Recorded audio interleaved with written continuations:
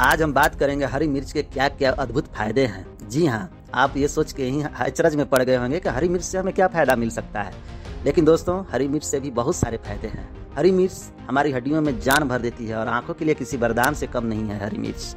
तो आज हम बात करेंगे हरी मिर्च के क्या क्या फ़ायदे हैं। स्पाइसी खाना हम चटकारे मार मार कर खाते हैं। इन्हें स्वादिष्ट और तीखा बनाने का काम हरी मिर्च का होता है। हरी मिर्च भारत में बड़े पैमाने पर इस्तेमाल होता है। तीखों से बचने के लिए बहुत से लोग हरी मिर्च खाने से बचते हैं। हालाँकि यह सेहत के लिए मिर्च ज़बरदस्त तरीके से फ़ायदा पहुंचाता है। यह सेहत के लिए वरदान से कम नहीं है, इसके अनगिनत फ़ायदे हैं। वज़न कम करने से लेकर आँखों की रोशनी बढ़ाने तक में हरी मिर्च मददगार होता है। आइए जानते हैं इसके उपयोग को और इसके फ़ायदे को।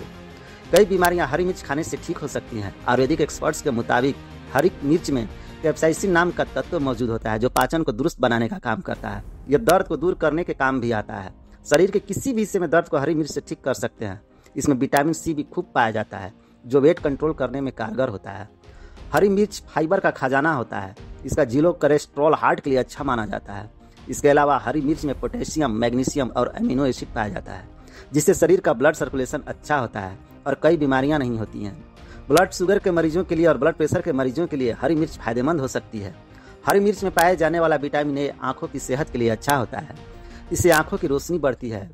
आयरन बॉडी में हीमोग्लोबिन लेवल को ठीक करता है, मैग्नीशियम हड्डियों को मज़बूत बनाता है और हड्डियों में जान भर देता है।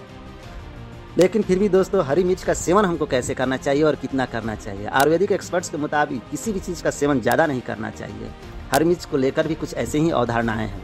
अगर हरी मिर्च खाते हैं तो कोशिश करें कि दिन में दो या तीन से ज़्यादा न खाएँ, क्योंकि इसकी वजह से पेट में जलन जैसी समस्याएँ हो सकती है। इससे पाइल्स की भी समस्या भी हो सकती है। इसकी वजह से दूसरी समस्याएँ भी ट्रिगर कर सकती है। इसलिए रोज अपने खाने में, अपने आहार में एक या दो ही हरी मिर्च लें और इसके फ़ायदे को आप अच्छी तरह से उठाते रहें और अपने स्वास्थ्य को अच्छे बना कर रखें। धन्यवाद दोस्तों।